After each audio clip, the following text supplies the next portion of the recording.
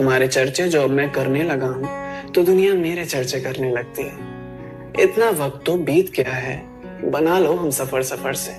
सुनो, प्यार हो गया है तुमसे, अब ये मत पूछना कब से।